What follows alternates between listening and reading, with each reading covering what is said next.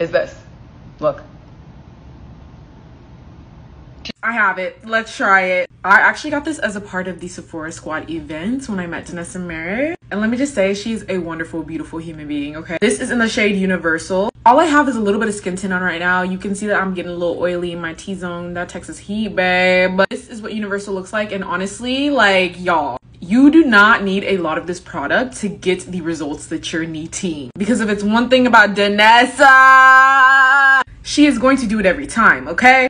take a little bit of this balm on my finger and it looks like Vaseline, but it's not. It's an interesting texture. We'll do this side of my face. As y'all can see, be a little glistening, okay? Just go ahead and apply that to your oily area. Do you guys see that difference? Apply some to this side of my forehead too. Look at this side of my face and look at this side of my face. The blur that you get with this product, absolutely insane. If you're an oily girl and want some oil control, babe, the Universal is really universal.